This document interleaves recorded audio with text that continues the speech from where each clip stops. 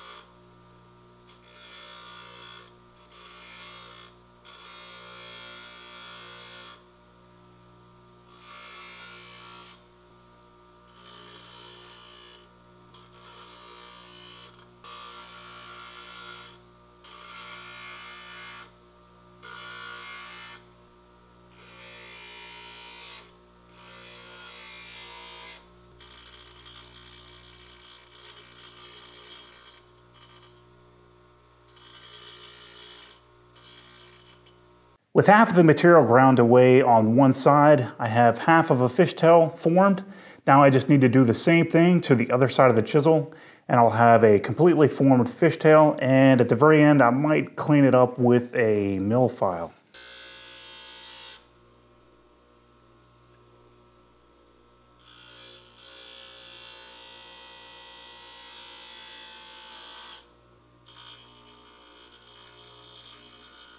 So now that I ground away the material on both sides of the chisel, you can see that I formed a nice fishtail at the tip of the chisel. And if you wanted to, you could make this part of the chisel even thinner by grinding away more of this metal and bringing the fishtail further in. But uh, I think for me, this is gonna be adequate. And uh, one thing I do want to point out is that you don't need to grind away the metal all the way up the length of the chisel. It's just not necessary. So the next thing I'm gonna do is take this over to my Waterstone and polish the back and then sharpen it up and give it a nice bevel.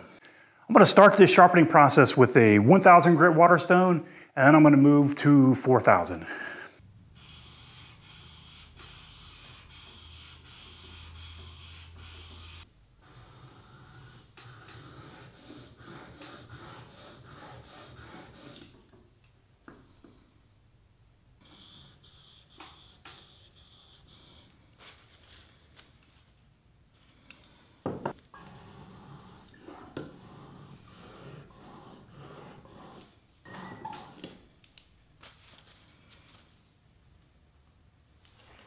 The only thing that I use fishtail chisels for are when I go to make the sockets for half-blind dovetails.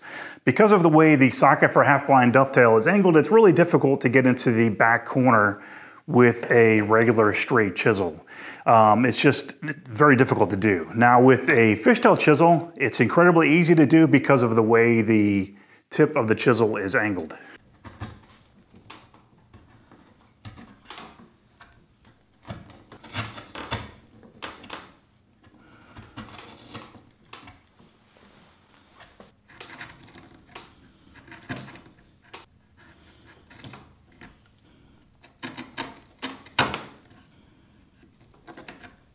When I made my first half-inch fishtail chisel, I made it back in 2012, and I wrote an accompanying blog article to go along with the build. There was no video. So if you'd like to read that original blog article, I'll have a link to it in the video description below. So that's all I have for you guys this week. I hope if you're not already a subscriber, you'll consider hitting the subscribe button. And also please consider supporting Garage Woodworks through Patreon. It's support from Patreon supporters that helps to keep this operation going. And you'll find a link to my Patreon page in the video description below and also in the first comment below. Thanks for watching and I'll see you all next time.